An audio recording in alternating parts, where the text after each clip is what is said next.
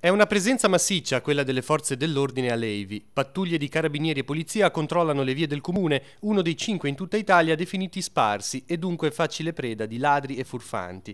È il caso di questi ultimi giorni, con diverse frazioni che hanno allarmato i residenti. I militari della compagnia di Chiavari però rassicurano. Non sono veri e propri furti, ha spiegato il tenente Marco Polati, ma incursioni nelle case, alcune delle quali nemmeno andate a buon fine. L'ipotesi è che ci siano una o due persone che girano sul territorio leivese con le idee un po' confuse, piuttosto che una forma organizzata di ladri professionisti. I fatti, prosegue Polati, sono riconducibili a forme di vandalismo o condotte particolari, ma senza la volontà di predare. È stata formalizzata una sola denuncia, peraltro per il furto di oggetti di scarso valore. I carabinieri invitano a non fare allarmismo, dunque, mentre i controlli proseguono con grande impiego di mezzi e uomini.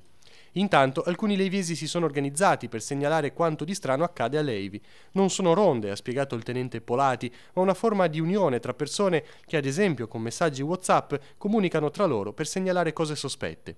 In questa direzione l'invito è a chiamare subito le forze dell'ordine, anche per un semplice timore.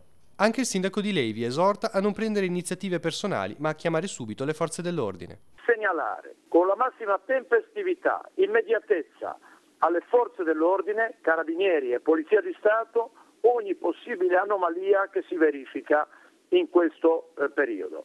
Quindi a qualunque ora della giornata, in qualunque momento, per fatti che possono anche sembrare irrilevanti, non lo sono per le forze dell'ordine. Ho parlato anche recentissimamente col tenente Polati e ieri con i funzionari della Polizia di Stato, per loro è importantissimo avere anche dei dettagli, avere dei piccoli tasselli che tutti messi assieme possono comporre un mosaico utile a sconfiggere questa situazione.